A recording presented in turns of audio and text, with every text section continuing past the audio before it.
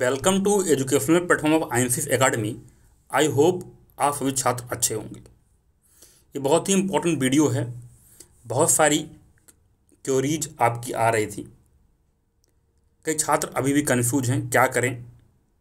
Objection कैसे भेजें? Proof नहीं मिल रहा है। कई सारे प्रश्न थे। कई छात्र कह रहे थे, भावुक कर वाले कमेंट कि सर जो है, कुछ भी करिए फ़ी फैट में कुछ प्रोवाइड कराइए। ठीक है? तो काफ़ी सारी समस्याएँ थी, मैंने देखा और ये इंपॉर्टेंट वीडियो में बता रहा हूँ। इसके अंदर आपका जो है, सारी चीज़ें क्लियर हो जाएँगी। पहले तो ऑब्जेक्शन के बारे में कई छात्र कह रहे थे कि फ़ीस क्या लगी। कोई फ़ीस नहीं है, आपको जो है स्पीड पोस्ट करना है टाइम अब नहीं बचा है। स्पीड पोस्ट कर दीजिए, थोड़ा ज़्यादा पैसा लग जाएगा नॉर्मल पोस्ट के कंपेयर में बट आपका टाइम से पहुँच जाएगा। ठीक है? सब कुछ इसी के अंदर आपका जो है, अच्छे से नोटिस के अंदर लिखा हुआ है। कई लोग कह रहे थे कि सर, अगर जो है ऑथेंटिक प्रूफ नहीं मिला, ठीक है, गवर्नमेंट वेबसाइट से प्रूफ नहीं मिला तो क्या आयोग लेगा या नहीं लेगा, ठीक है, क्या करेगा, क्या नहीं करेगा? ध्यान से अगर इसको आप पढ़ेंगे तो कोई क्राइटेरिया इसने डिसाइड नहीं किया है कि भाई ये क्राइटेरिया है, यही यही फोर्स चलेगा, ठीक है, ऐसा कुछ क्राइटेरिया आयोग ने अपने नोटिस में नहीं दिया है, ठीक है। ये बात सिर्फ़ आयोग ही जानता है वो क्या लेगा, क्या नहीं लेगा, या फिर आयोग में बैठे लोग जानते हैं, ठीक है, और उसने कोई क्राइटेरिया जब तक जब तक उसने नोटिस में क्लियर ही नहीं किया है कि वो क्या लेगा क्या नहीं लेगा। और हाँ आयोग ने तो हद मचा ही दी है। फ़ायदा सुनने में आ रहा है कि स्केलिंग भी वो नहीं लगाएगा। जो स्केलिंग की उम्मीद कर रहे थे छात्र दो हज़ार इक्कीस का जो जिन्होंने मेम्स दिया है, उनके लिए भी बहुत बुरी खबर आ रही है। वो स्कूलिंग भी नहीं लगाए मतलब आयोग की मनमानी पूरी तरीके से जा, जो है, जग ज़ाहिर होती जा रही है। ठीक है, अब बताइए, आज डेट में क्या करे छात्र? चौदह क्वेश्चन का तो जो फंदे में थे, उसके ऑब्जेक्शन मिल चुके हैं। विद प्रूफ जो है, टेलीग्राम चैनल में दे दिया गया है। घटना चक्र ने भी इसका निकाल दिया विद प्रूफ। ठीक है? अब इसके अलावा मैं कमेंट पढ़ रहा था तो दो क्वेश्चन और हैं। एक मस्जिद वाला क्वेश्चन था, वो कई छात्र कह रहे हैं सर इसको एक बार देख लें। और एक जो प्रेसिडेंट वाला पूछा गया था, उसके अंदर शायद डेट गलती है क्वेश्चन के अंदर। और दो क्वेश्चन और हैं, जिसके अंदर जो है ट्रांसलेशन में दिक्कत है। हिंदी में कुछ और है और इंग्लिश में कुछ और है। यानी कुल हो गए अट्ठारह प्रश्न। चौदह तो फंदे वाले चले गए और चार ऐसे वाले। मतलब यार क्या मतलब हद हो गई है कि मज़ाक बना के रख दिया है कि अट्ठारह प्रश्न कुछ होते हैं। एक सौ पचास क्वेश्चन के पेपर में अट्ठारह प्रश्न ऐसे हैं जिसको इन्होंने मतलब बेड़ागर कर रखा है जिस क्वेश्चन के अंदर। एग्ज़ाम हॉल में भी आप परेशान रहिए और बाहर बताइए साथ से जुटा जुटा के सारे छात्र परेशान हो गए। जब से एम किया है तब से लगे हुए हैं और तेईस तक लगे रहेंगे सोचिए मतलब पूरा एक हफ़्ता इन्होंने बर्बाद कर दिया जिस जिसके कन्फर्म है कि भाई सिलेक्शन हो जाएगा सी फैड में हो रहा है, वो भी इतना टाइम अपना वेस्ट कर रहा है। लेकिन क्या करोगे करना ही पड़ेगा।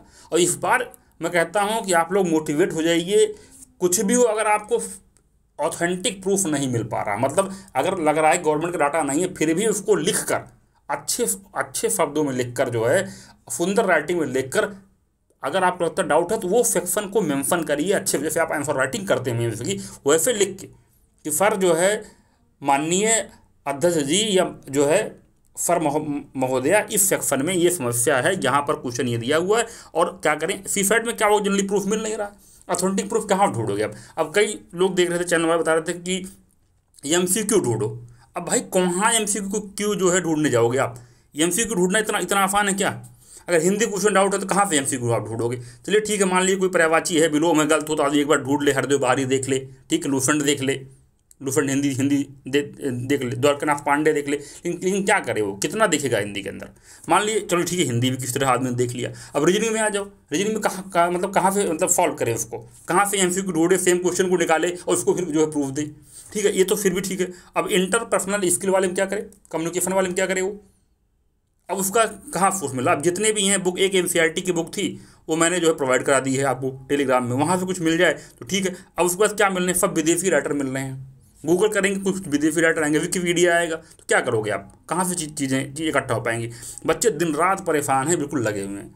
और फिर बताइए आपसे जो है, ढंग से डेढ़ सौ क्वेश्चन नहीं बन पा रहा जी के अंदर। बताइए। और उसके बाद सौ क्वेश्चन इन, इनको जो है सी फैट में नहीं मतलब नहीं बन पा रहा है कि ढंग से बना लें सौ क्वेश्चन सी फैट का तो इन्होंने बेड़ा गर कर रखा है सी फैट के अंदर। दस से बारह प्रश्न जो है ऐसी जो कोई गलत गलत नहीं बनाएगा। बच्चा भी आंसर दे देगा उसका। पैसेज के क्वेश्चन ये आप गल दे रहे हो। तो इस बार सभी छात्र ठान लें ऑब्जेक्शन इतना भेज दें कि इनकी गिनते गिनते हालत ख़राब हो जाए। कितने लिफाफे गए हैं आयोग में इनकी इस बार हालत ख़राब कर दो आप लोग। इसीलिए जनरली गुस्से में मैं आता नहीं हूँ, पर आना पड़ रहा है इनका, इनकी हद देख कर मतलब बच्चे क्वेश्चन भी सॉल्व करें और उसके बाद उसका जो है प्रूफ भी इकट्ठा करें। ऐसी किताबें जो कभी नहीं पढ़ी होंगी छात्रों ने, उसको भी छानना पड़ रहा है। उस किताब को ढूंढ ढूंढ के छान छान के उसमें से कंटेंट निकालने पड़ रहे हैं प्रूफ निकालने पड़ रहे हैं। प्रिंट आउट निकालो, ठीक है? तो इस बार जम के इतना भेज दो ना कि आगे से इनकी हिम्मत ना हो, एक बार कम से कम जो है। न्यूज़पेपर वाले, कई पेपर में छप गया।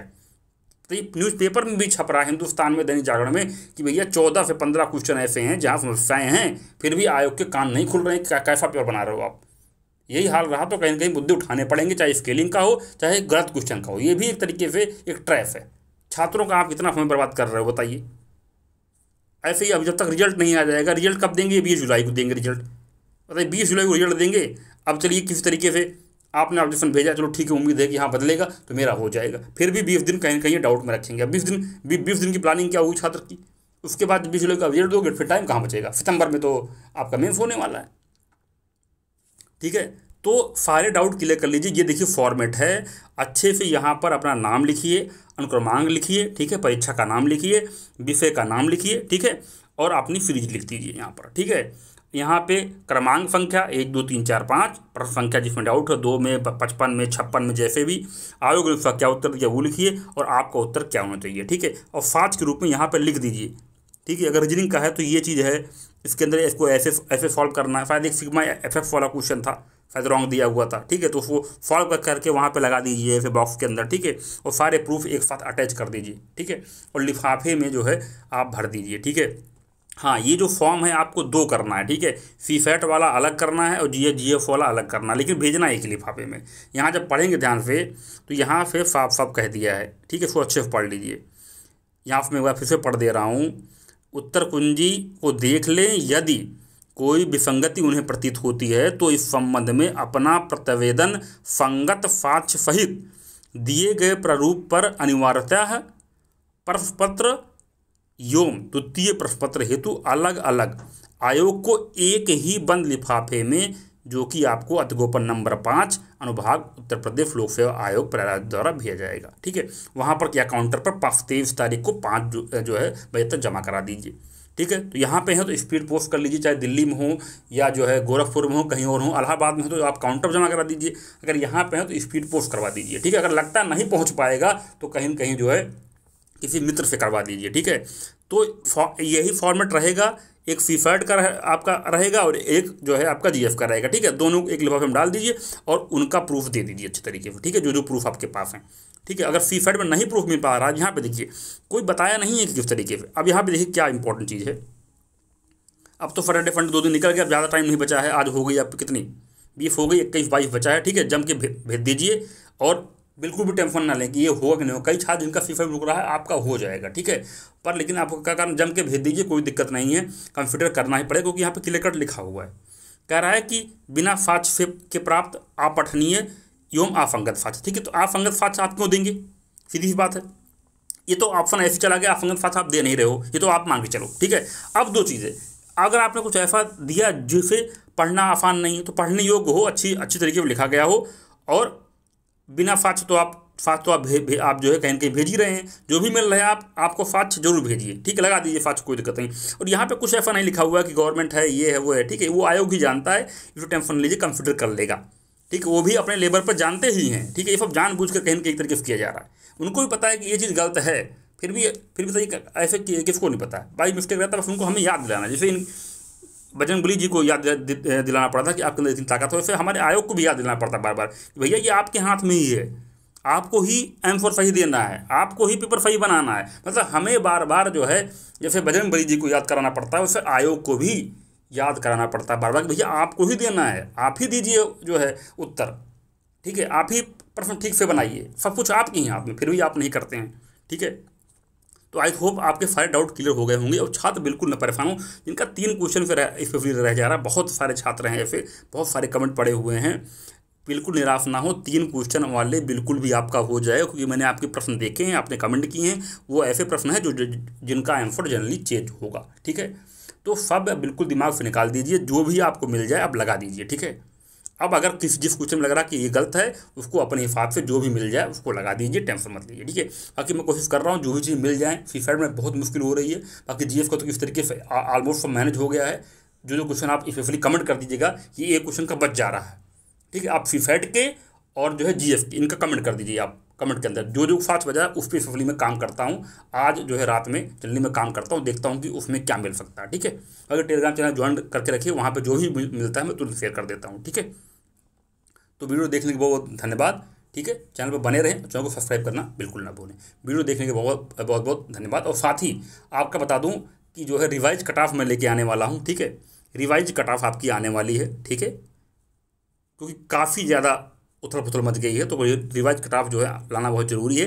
ये आपको मैं जल्दी ही प्रोवाइड कर दूँगा। जैसे ही ये ऑब्जेक्शन का पूरा जो है कार्य समाप्त हो जाएगा सेटल हो जाएगा तो एक बार आइडिया लग जाएगा कितने पे ऑब्जेक्शन गया है, लगभग अप्रॉक्स कितना भेजा गया ठीक है? ये आइडिया लग जाए, फिर जनरली मैं आपको रिवाइज कटाफ प्रोवाइड करा दूँगा। वीडियो देखने बहुत धन्यवाद। स्ट्रेटजी आपकी मेन्स की बना देता हूँ। देखिए, दो पार्ट में करना पड़ेगा आपको। पहले बीस का करना पड़ेगा टारगेट जहाँ पर आपका, जब तक आपका रिज़ल्ट नहीं आ जा रहा था, आ जा रहा है, ठीक है? क्योंकि जो लोग डाउट में हैं, वहाँ उनको ऐसे फॉलो करना पड़ेगा। उसके बाद की प्लानिंग अलग होगी, ठीक है? तो पूरा प्लानिंग वीडियो आपका आ जाएगा मेंस के लिए, कैसे बेटर स्कोर करें और कैसे आप टॉप रैंक भी ला सकते हैं एफडीएम कैसे बन सकते हैं, उस पर भी आपका एक वीडियो आने वाला है। वीडियो देखने बहुत धन्यवाद।